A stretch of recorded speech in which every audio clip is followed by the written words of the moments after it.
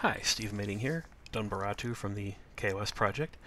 I'm going to be demonstrating here the new Telnet server that will be showing up very soon in the next release of KOS. Um, it will ship with the Telnet server turned off by default, but you can turn it on and off with the config option.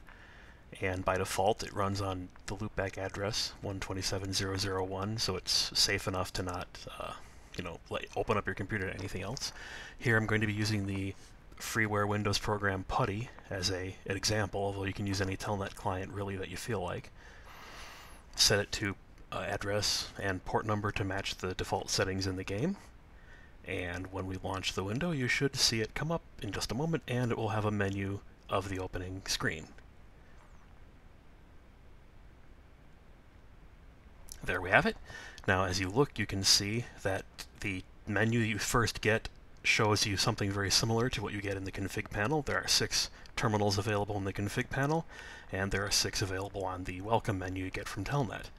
So you can pick one of them, and in our case we're going to be picking number four, because number four happens to be the one of the ones on the ship you can see right in front of you on the screen. So we pick number four, enter, and we get a clone of the same terminal that you have in-game.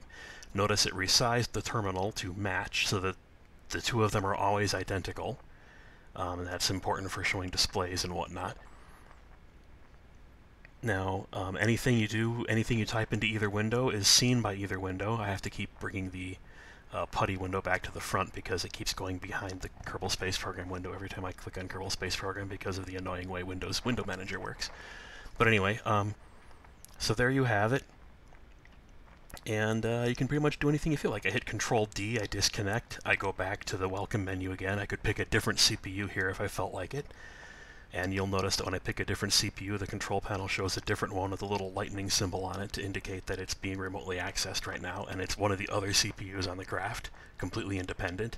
I can work on it even though it's not actually showing on the GUI screen anywhere. So I disconnect from that. Let's go back to number four, the one we really wanted to work on.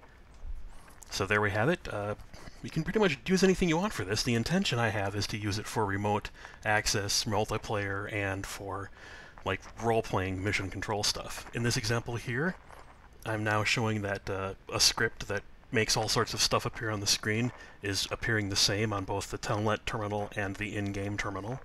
You can look at them and compare them and see that they're coming out exactly the same as they should. So you can run scripts from afar and monitor them. Notice when you resize the window, the other window matches as long as they're both on the same CPU, which is important because the graphical display has to come out looking the same on both windows or it's messed up. Now I'm going to revert this launch. I didn't really want to make a launch demonstration.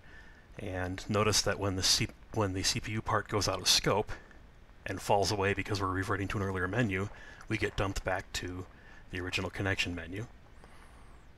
There we go. And now we're back to the original connection menu again because we reloaded the scene. So anytime that the CPU disappears, either because it smashed into the ground or because you changed scenes, you will get your telnet kicked back to the main menu again.